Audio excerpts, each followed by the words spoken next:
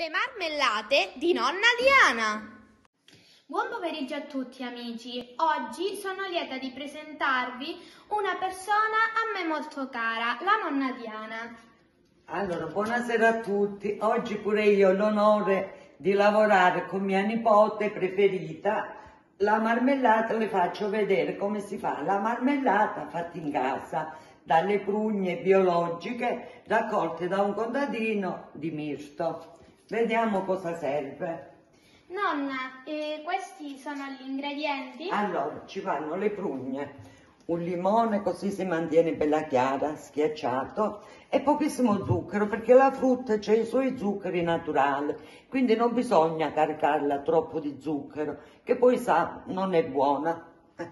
E procediamo, si gira per mezz'oretta con un cucchiaio di legno fino alla cottura ultimata e poi procediamo avanti con, altri, con le altre cose. Nonna, cosa stai facendo? Fammi Allora. un po' curiosare. Allora, gioia della nonna, ora abbiamo messo le prugne, abbiamo acceso il fuoco, l'abbiamo messo a fuoco basso.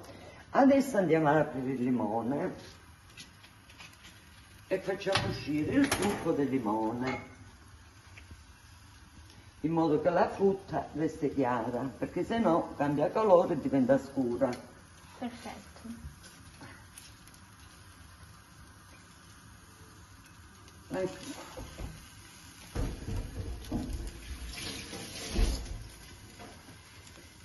Eh, E dobbiamo girare perché se no c'è il rischio che ci attacca al fondo della pentola, si brucia e va buttata.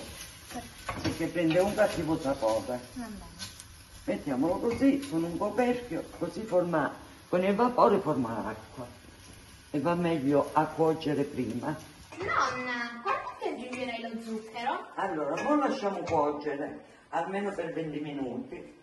Quando ci accorgiamo che la marmellata è pronta, ci aggiungiamo lo zucchero e poi lo lasciamo cuocere ancora per altri 10-15 minuti e, e abbiamo finito, possiamo invasare.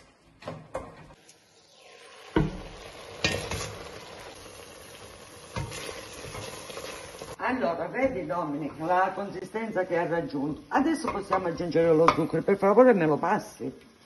Ecco nonna. Ecco qua, brava, grazie. Mettiamo tutto questo. Ora dobbiamo stare attenti a girare in continuazione perché lo zucchero attacca subito al fondo della pentola. Vedi Dommi che ha cambiato già colore con il zucchero. Sta diventando lucida e sta diventando più scura perché lo zucchero che le dà questa lucentezza. Mm, nonna, che buon profumino. Vedi Dom? Quando altri- deve cuocere? E mo altri 10 minuti ed è, ed è pronta, beh? E met- dopo la mettiamo nei vasetti. Bene. Ecco. Vedi Domenica, la marmellata è pronta. Hai visto come, come ha cambiato colore, come è venuta bella cotta? È proprio vero, nonna, che Eh. delizia. Questo profumo si percepisce in tutta la taverna. Eh sì, è proprio una bontà, guarda.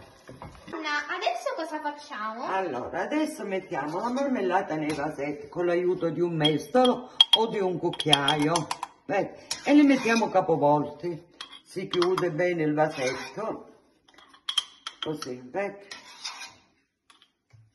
Bello, nonna. Vedi la frutta a pezzettini che si vede. Ecco. Prendiamo un tovagliolino e si pulisce il bordo così, vedi? Per non fare rimanere tracce fuori. E va chiuso, vedi? Ecco. E lo mettiamo capovolto. Così si mantiene tutto quest'inverno. Nonna, secondo me questa bontà non rimarrà nella nostra dispensa nemmeno per un giorno. Hai ragione, Do. Nonna, eh, dici un po' come possiamo mm, utilizzare questa squisita marmellata nella nostra alimentazione? Allora, possiamo iniziare dalla mattina con una buona fetta biscottata, vedi?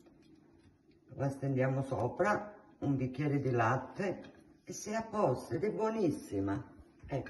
Poi si possono fare dei dolcini tipici calabresi come questi, oppure dei bucchinotti, pure calabresi. Ecco, vedi, con la marmellata, che sono buonissimi. Oppure una buona e ottima crostata fatta a casa con la nostra marmellata. Nonna, dici un po', con quale altra frutta si può preparare questa golosa marmellata? Beh, con tutta la frutta di stagione, per esempio si inizia con la frutta, con le ciliegie, che non ha fatto questa, poi ci sono le amarene che vengono dopo ed è questa, poi ci sono le albicocche, poi c'è c'è quella dei fichi che è molto buona e poi quella delle susine che abbiamo fatto noi oggi. Perfetto. Io sinceramente adoro tutte queste marmellate, però la mia preferita non può che non essere questa qua di amarene. Buona, sai scegliere, no? Cari amici, da Casa Amadeo è tutto.